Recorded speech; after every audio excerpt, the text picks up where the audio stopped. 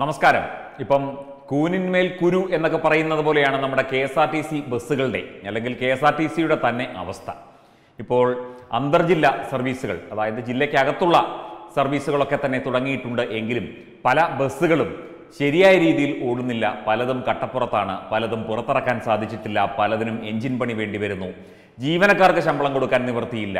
അങ്ങനെ കെ എന്ന് പറഞ്ഞാൽ പരാതി പ്രളയമാണ് ഇവിടെ വണ്ടികളുടെ എണ്ണത്തേക്കാൾ കൂടുതൽ പരാതികളാണ് പരിഭവങ്ങളാണ്. കോർപ്പറേഷൻ നഷ്ടത്തിലാണ് എന്ന് എത്രയോ കാലമായി പറയുന്നു. നമ്മൾ എത്രയോ സ്റ്റോറികൾ ചെയ്തു കെ എസ് ആർ ടി സിയെ സംബന്ധിച്ച്. എന്നിട്ടും K S R T C പുനരുജ്ജീവിപ്പിക്കാനുള്ള പദ്ധതികളൊന്നും തന്നെ മിണ്ടുന്നതേയില്ല ആരും. ഇത് എത്രയോ ആയിരക്കണക്കിന് ജീവനക്കാർ ആയിരക്കണക്കിന് പെൻഷൻകാർ മാത്രമല്ല സാധാരണ ജനങ്ങൾ ഇപ്പോൾ അന്തർജില്ലാ സർവീസുകൾ ജില്ലയ്ക്ക് ജില്ലയ്ക്കുള്ളിലുള്ള സർവീസുകൾ ഒക്കെ തന്നെ സാധാരണക്കാരൊക്കെ ആശ്രയിക്കുന്നുണ്ട്. പക്ഷേ കൃത്യമായി ബസ് സർവീസ് ഷെഡ്യൂളുകളില്ല. കൃത്യമായി ഷെഡ്യൂളുകൾ ഏർപ്പെടുത്താൻ സാധിക്കുന്നില്ല. വണ്ടികളില്ല ജീവനക്കാരില്ല. ഉള്ള ജീവനക്കാർക്കാണെങ്കിൽ ശമ്പളവുമില്ല. കോടതി ഹൈക്കോടതിയിൽ വരെ എത്തിയതാണ് താൽക്കാലിക ജീവനക്കാരെയും എംപാനൽക്കാരെയും ഒക്കെ പിരിച്ചുവിട്ടുകൊണ്ട്. അങ്ങനെ വലിയ വലിയ സംഭവ വികാസങ്ങളൊക്കെ നടന്നതുമാണ് നമുക്കറിയാം. പക്ഷേ ഇപ്പോഴും കെ എസ് ആർ ടി സിയുടെ സ്ഥിതി വളരെ കഷ്ടമാണ് പരമ ദയനീയമാണ് എന്നാലും ചില കാര്യങ്ങൾ കെ എസ് ആർ ടി സിയിൽ മുറ പോലെ നടക്കുന്നുണ്ട് എന്നാണ് വാർത്തകൾ പുറത്തു വരുന്നത് അതെന്തൊക്കെയാണെന്ന് ഒന്ന് നോക്കാം. കെ എസ് ആർ ടി സിയിലെ താൽക്കാലിക ജീവനക്കാരെ കോടതി വിധിക്ക് വിധേയമായി പിരിച്ചുവിട്ടുകൊണ്ടിരിക്കെ ചെയർമാനും എം ഡിയുമായ എം പി ദിനേശ് കൂടുതൽ കാലാവധി ചോദിച്ചു വാങ്ങി. അദ്ദേഹം ആദ്യം എം എം ഡി മാത്രമായിരുന്നു പിന്നീട് ചെയർമാനുമായി. ടോമിൻ തശങ്കരിയെ മാറ്റിയാണ് എം പി ദിനേശിനെ ഐ എസ് ഉദ്യോഗസ്ഥനാണ് എം ഡി ആക്കിയത്. തുടർന്നിപ്പോൾ ചെയർമാനുമായി കൂടുതൽ കാലാവധി ചോദിച്ചു വാങ്ങി. അല്ല എന്തിനാണ് കാലാവധി ചോദിച്ചു വാങ്ങിയത്? അത് മാത്രം മനസ്സിലാകുന്നില്ല. വലിയ വിപ്ലവകരമായ മാറ്റങ്ങൾ ഇദ്ദേഹം ഈ ഒരു മേഖലയിൽ നടത്തിയോ? അറിയില്ല.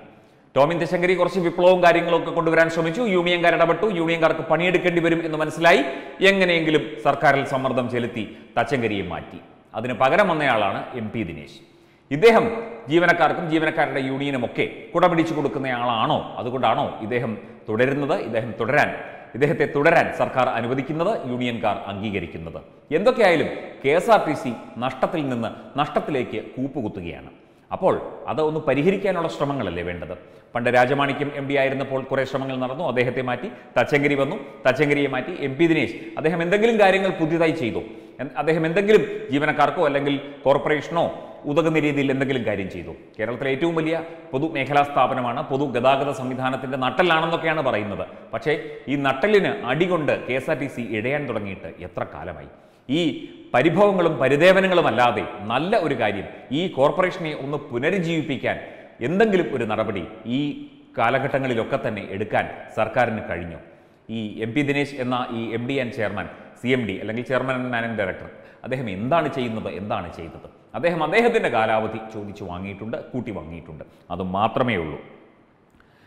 അപേക്ഷ സർക്കാർ അംഗീകരിച്ചു. പുതിയ സ്ഥിരം മേധാവിയെ നിയമിക്കുന്നതുവരെ അല്ലെങ്കിൽ ഒരു വർഷത്തേക്ക് ദിനേശിന് സി എം ഡി ആയി തുടരാമെന്ന് ഗതാഗത വകുപ്പ് principal secretary K R Jyothilal ഉത്തരവിട്ടു. ചെയർമാനും എം ഡിയുമായിരുന്ന ടോമിൻ ജത്തച്ചങ്കരിയെ യൂണിയനുകളുടെ സമ്മർദ്ദത്തെ തുടർ സമ്മർദ്ദത്തെ തുടർന്ന് മാറ്റിയപ്പോൾ എം ഡി ആയിട്ടാണ് ഇദ്ദേഹത്തെ നിയമിച്ചത്. പിന്നീട് ചെയർമാൻ സ്ഥാനം കൂടി നൽകുകയായിരുന്നു ഐ ഉദ്യോഗസ്ഥൻ. നേരത്തെ ഞാൻ ഐ എ എസ് എന്നാണ് പറഞ്ഞത് എന്ന് തോന്നുന്നു. ഇദ്ദേഹം ഐ പി എസ് ഉദ്യോഗസ്ഥനാണ് M P Dinesh. I P S ഉദ്യോഗസ്ഥനായ ദിനേശ് വിരമിച്ചപ്പോൾ സർക്കാർ അദ്ദേഹത്തെ ഒരു വർഷം കൂടി തുടരാൻ അനുവദിച്ചു. കഴിഞ്ഞ ദിവസം ഈ കാലാവധി തീരാനുള്ള അതിന്റെ നടപടിക്രമങ്ങളൊക്കെ വരുന്ന സമയത്താണ് ഇപ്പോൾ പുതിയതായി അദ്ദേഹത്തെ ഒരു വർഷത്തേക്ക് കൂടി സി എം ഡി ആയി നിയമിച്ചുകൊണ്ട് ഉത്തരവിറക്കിയിരിക്കുന്നത്. സാമ്പത്തിക ബുദ്ധി- ബുദ്ധിമുട്ടിൽ നിന്ന് K S R T C കരകയറുന്നു പോലുമില്ല എന്നതിന്റെ സൂചനകളാണ് ഈ അടുത്ത കാലത്തായി വന്നുകൊണ്ടിരിക്കുന്നത്. കോവിഡ് കാലത്ത് സർവീസ് നിർത്തിയിട്ടിരിക്കുന്നതിനേക്കാൾ കഷ്ടമാണ്. സർവീസ് പുനരാരംഭിച്ചപ്പോഴുള്ള അവസ്ഥ. ബസ് ഓടിക്കാൻ പോലും നിവൃത്തിയില്ലെന്നും സാമ്പത്തിക നഷ്ടം അതീവ ഗുരുതരമാണെന്നും ആവർത്തിക്കുന്നതിനിടെയാണ് വിരമിച്ചയാളെ കനത്ത ശമ്പളവും മറ്റ് ആനുകൂല്യങ്ങളും നൽകി തുടരാൻ ഇപ്പോൾ അനുവദിച്ചിരിക്കുന്നത്. അത് ചില യൂണിയൻകാരുടെ സമ്മർദ്ദം മൂലമാണ്. യൂണിയൻകാരാണ്. കെ എസ് ആർ ടി സിയിൽ ചിലപ്പോൾ പ്രേക്ഷകർക്കറിയാമായിരിക്കും എല്ലാ കാര്യങ്ങളും തീരുമാനിക്കുന്നത് യൂണിയൻകാരാണ്. അതായത് യൂണിയന്റെ പല നേതാക്കളും ഇടതുപക്ഷ യൂണിയൻ പ്രധാനമായി യൂണിയന്റെ പല നേതാക്കളും അവിടുത്തെ സ്റ്റാഫാണ് പക്ഷേ അവരാരും ജോലി ചെയ്യില്ല. മാത്രമല്ല സ്റ്റാഫുകളുടെ കയ്യിൽ നിന്ന് ശമ്പളം കിട്ടിക്കഴിഞ്ഞാൽ അതിന്റെ ഒരു പിരിവുണ്ട്. അങ്ങനെ ആകെ കിട്ടുന്നത് വളരെ കുറച്ച് തുകയാണ് വല്ലപ്പോഴുമേ കിട്ടുകയുള്ളൂ. അതുതന്നെ യൂണിയൻകാർക്ക് അതിന് വീതം വെച്ച് കൊടുക്കണം. അപ്പോൾ ഈ ജീവനക്കാരുടെ അവസ്ഥ ആലോചിച്ച് നോക്കൂ.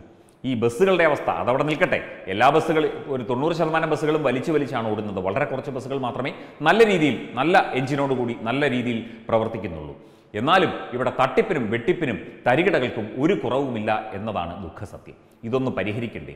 ഈ നമ്മൾ ഈ ആനവണ്ടി എന്നൊക്കെ പറഞ്ഞ് നമ്മൾ പറയുന്ന ഈ വണ്ടിക്ക് ഈ സർവീസിന് ഒരു പാരമ്പര്യമുണ്ട്.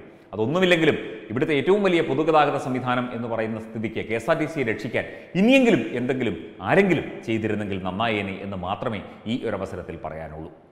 Web desk Tatwamayi news.